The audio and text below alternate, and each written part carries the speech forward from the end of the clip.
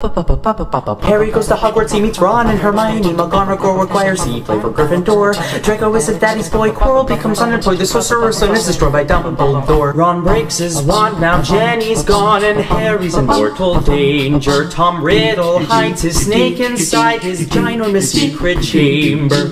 Harry blows up Aunt Marge. The Dementors come and take charge. Lupin is a wolf, the rat's a man, and now the prisoner is at large. They use time travel so they can save the prisoner of Azkaban, who just so happens to be Harry's godfather. I don't really get it either.